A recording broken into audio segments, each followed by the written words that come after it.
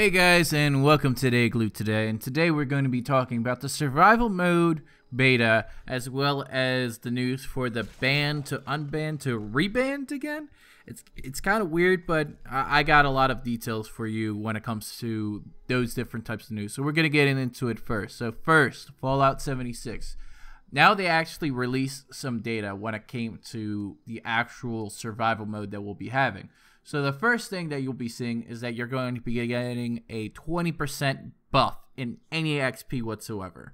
So personally, that's going to be good. All the PvP restrictions, like the whole tagging mechanics and everything else, that's turned off, especially for when you're trying to be doing that in the wasteland.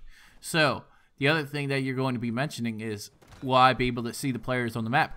Yeah, you will be able to see the players on the map, but not on your location not anything else, you'll only be seeing players that have a bounty system. So it's kind of like GTA, but kind of not like GTA. So people are going to have cap bounties that you can actually set to other people on the server, which is kind of like different, but okay. So there's going to be a few different other things that are going to be added. So you would only be able to fast travel to the camp, to the vault, and to a few different locations when it comes to like train stations, uh, fast travel is also limited to these locations.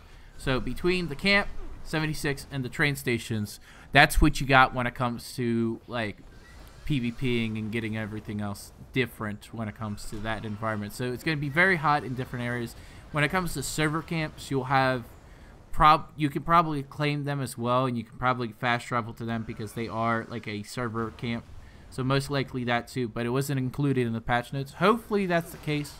So they have confirmed that it's going to be all your junk and then a random amount of aid that you have in your aid category. So if you are carrying a whole bunch of aid, like it's not going to really help you, but you're going to be getting double the caps. You're going to be getting like so much more XP when it comes to this. And it's going to be helpful. So if you're going to be leveling a character, it's actually going to be easier to do it on the survival beta, quote unquote, that they're doing so there's actually going to be leaderboards that they're going to be having for the whole iteration of like different people, XP gained, events complete, enemies killed. So like they're gonna have different leaderboards when it comes to this. So it's gonna be like this open world survival slash GTA feel. I don't know how I feel about that, but I'm just like, all right, well, this person's going to be alive for like five hours. Maybe you want to go kill that person. So the only way that you can kill that person is to set a bounty on their head and find out their location. So then you have to walk on over there. But then what if they leave the server? It says nothing about when somebody leaves a server instance that you can't go and pursue them. Like what what's the time to get off a server when you actually see somebody? So like there's going to be a few different things which are really unique. So here's the other thing we know that there's going to be weekly rewards now. So starting March 26th to April, the first reward is going to be the crushing blow, uh, something called double damage if your target is at full health. So it's instigating uh, with 50% limb damage, just a little short barrel. And it's like, why? Why why do you need this grenade launcher? It's a short barrel. Like it's it doesn't really serve a purpose when it comes to. Then there's the the medical malpractice, which is just a 44 pistol with VATS criticals will heal your group, and then 50 uh 33% VATS chance. Now this is going to be pretty cool that you're going to be seeing like other weapons that are going to be limited time with like limited name purchases when it comes to this. The sole survivor. So there'll be 10 uh, percent damage to players, so that's assassins, and then 10% uh, 10% damage while aiming, and then another 50 damage resistance while aiming. So it's an aim gun that they think that is fine, but I mean an anti-armor would be better. So an anti-armor explode uh, not explosive because it doesn't work together still. An anti-armor VATS would be better unless you're aiming at farther distances. Then there's the guarantee, which is double damage with full health. How about we just do double damage because it's a fat man, and fat men don't really do that much damage in the first place whatsoever. And then there's the action hero, which I mean they're gonna probably make a Rambo reference, but Like the action hero shoots an additional projectile, so it's a two-shot, uh, 25% faster fire rate with 15% faster reload. So, I mean, it's a pretty good gun in itself. And then there's the quick fix, which is like a junkie's like stabby stab knife, the switchblade.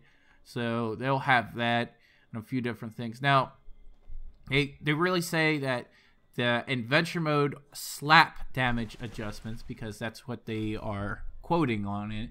Once uh, open beta is live for survival mode, we're making a change to reduce all damage that would be dealt by you by the players that is not uh, currently hostile with to zero. So there will be no slap damage like there was in my last videos when it comes to grief weapons, kind of like the Mr. Handy Buzzblade, the Ripper, or anything else like that. But we'll be seeing, especially this, this adjustment is effectively uh, eliminate slap damage, which uh, would greatly reduce the likelihood that you'll fall victim to any unwanted PvP. So all those people that wanted to just play to play and not be bothered I mean, they're going to be on there, but there will be some people that will take the risk and go into survival that are the casual players that will go into the survival mode setting because they want that 20% buff XP.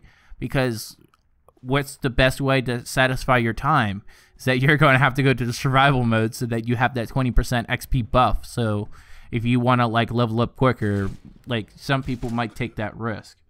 Um, so especially for that, like if you have pacifist mode disabled, it will return fire against other players and will become hostile towards them. So if you are in pacifist, it will be zero. But if you're not in pacifist mode, it will like not be zero. So you'll have the quote unquote slap damage for what I'm seeing here. Additionally, attempting to claim other players' workshop or having someone else's contest your own uh, will open up hostility to that player. Also, you will take damage from environmental hazards that have been caused by the other any other player, such as a car exploding. So if you shoot a car, like it'll explode.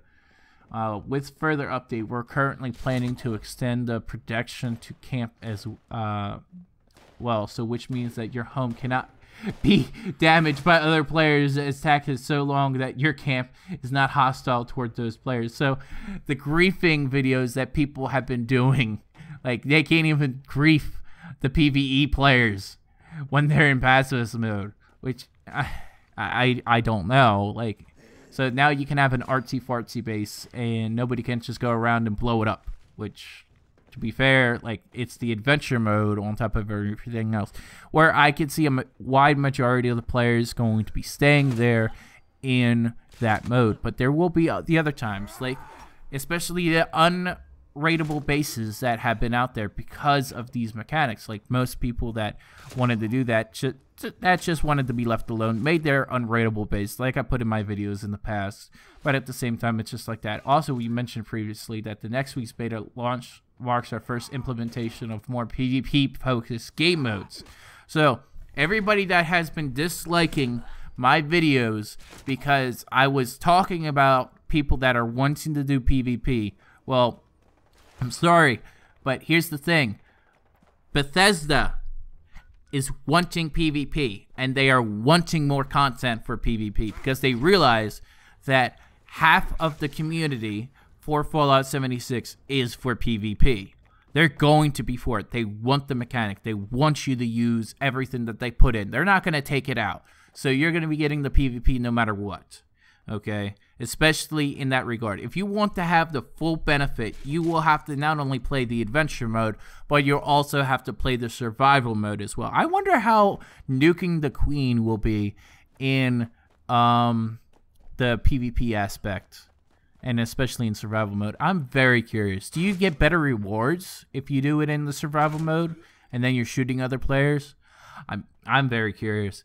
Um, that's going to be really big. So the second part of this is the the ban the unban waves that has happened uh, throughout Fallout 76. So during the last wave of bans that I've interviewed people and I've had that kind of stage, those people that were interviewed were then unbanned and then they were rebanned. So during the, I think the first day of like the new events that came out, they were actually having some fun. They played on those characters that were previously banned, and then after that, they were rebanned. So I have a few clips that people want to show their stuff that they have been telling me that look, this is my inventory of all three characters. This is my inventory of what has happened to me. And some people just left. I mean, at this point, like it's a joke. There's even like a little letter. I can't confirm or deny this as well, but it's just like, hey, my name is Joshua, and then it says the rest. And then they said the account, like most people had their uh, accounts uh, temporarily lifted because it wasn't a complete ban because they couldn't deal with the amount of stuff on people's inventory, so they unbanned those characters. So those characters then came back into circulation. And from what they found is that they were still causing lag to the server. So that they rebanned everybody as a blanket statement on top of everything else. So it's just like, oh, okay, yeah, that's going to happen. So we don't know everything. Again, I can't confirm or deny it. I just have this little bit on top of everything else. So this is the Fallout news for today. And pretty much I am looking forward to this new content. I know I still need to do the Fasnacht event or however you say it. I, I can't enunciate it. And I'm going to be farming for my own stuff as well. You might be seeing me uh, in the world, but I'm mainly going to be hanging out in Discord, trying to figure out like what I'm going to do with this new PvP update. Especially, will it bring people back? Will it be enough to bring people back? And with the all these awards, like personally, I would say as soon as we get the legendary like vendor when it comes to Fallout 76, we should have a good understanding of what to actually have. And for everybody that was just like it was clickbait for the legendary spot location from my last video as well, dude how else can you explain having power armor, having laser weapons, combat rifles, noise actuation in this kind of train station for this kind of st- setup? Now, when we have in the actual roadmap, it shows a mole miner legendary thing. Now, we don't know exactly what it is, but at the same time, I think personally it's the train station. I never said and confirmed that it was there. I just put it as the thumbnail. That's part of clickbait and how YouTube works. Now, if you might dislike it, that's that's fine with you, but at the same time, I'm still going to address that criticism when it comes to this kind of stuff. And I still hold to my word. I'm not going to take back and say I'm sorry or whatever. That's my personal opinion of what I think it is. And it was extremely upvoted on Reddit. And then I went there myself and I confirmed for what was actually there. And it was actually, a, it would be a pretty good idea because, I mean, it's in the high tier area. It's surrounded by all the high tier zones. I personally think that that would be a high tier legendary shop. If it's not the mole miner himself, okay, it might be a, a vendor bot, okay? You might not agree with it, but we can only wait and see until we get that time. Just like with the Fasnacht event, it didn't start until like 3 p.m. Eastern Standard Time. They didn't really give us a time to when it actually started for most players. But that's when I had the problems. I tried to do it myself probably 40, 50 times for server hopping. It's a pain in the butt to do.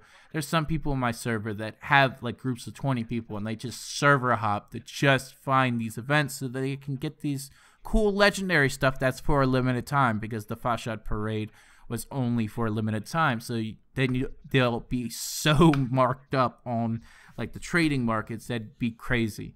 Again, if you guys like this kind of content, please leave a like, leave a comment down below, and have a good one.